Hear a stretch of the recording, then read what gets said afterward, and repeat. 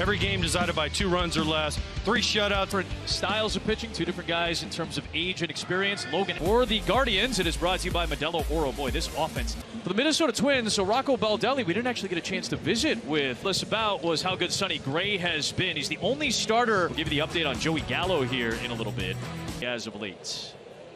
And he swings at the first pitch and bounces it to the second baseman, Polanco. One away for Amed Rosario, who did not start lump recently. Close fastball for a strike team. They were much better offensively when he was hitting. Smokes one to short, but it's right at the shortstop, Kyle Farmer. Climb in with the bases empty and take a strike. Switch hit.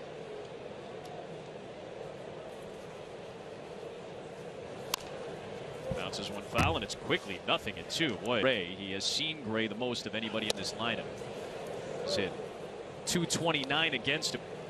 Four-time All-Star waits, rolls one to first base. Picks Solano. That is off a back injury and performed very well, or hamstring injury, I should say, and who's been DHing all year. He is out. Changeup, but really his swings and misses come on that sweeper slider.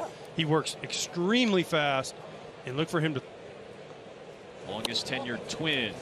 Will take a close one for a ball. Runs about four and a half a game. Kepler bounced foul past the third base coach Tommy Watkins on the uh, Apple broadcast. Center field, it is gone. You get the pole when you hit the home runs. Nothing in two on Solano. And for Polanco has given Minnesota a one to nothing lead. Something to watch for Adam in this game. More fastballs than he's thrown in any other start. Right there, Polanco got a fastball, hit it for a home run, first batter of the game. There's a 2 2, and it's foul.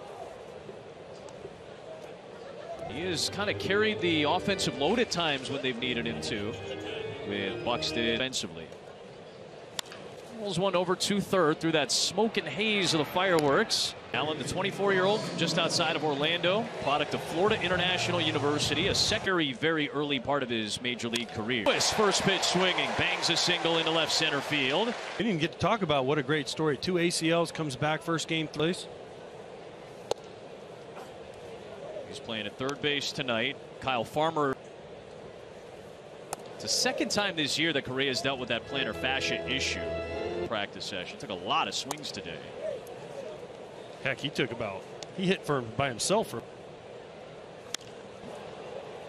Gabriel Arias all the way over. He makes the catch. Garlick just called back up today for his third stint with the big league club. Joey Gallo. Garlick is back up with the team. That's the pitch that Logan Allen needs and open up the outside corner.